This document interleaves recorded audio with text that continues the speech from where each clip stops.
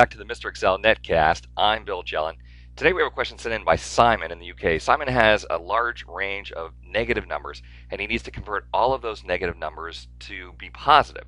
And he said he has an add-in that he uses to convert that, but wonders if there's any way natively in Excel um, to convert negative numbers to positive. Well, my method is that I go to a blank cell, so I'll just go to any blank cell and put in the number minus 1, enter that cell, copy the cell to the clipboard. I use Control C to copy and then select my range and we'll use edit paste special so that we want to use values and multiply.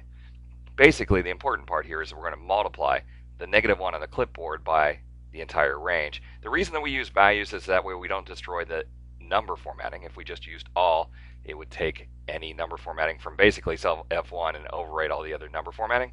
Um, so I'll click OK, and that quickly all of the negative values change to positive. Now, one other method that might work, and this is particularly important if you already have some positives in there and you need to make sure that everything is positive. Um, what you can do then is select your cells and you'll use Edit, Replace, and say that we want to convert every occurrence of a minus sign to nothing.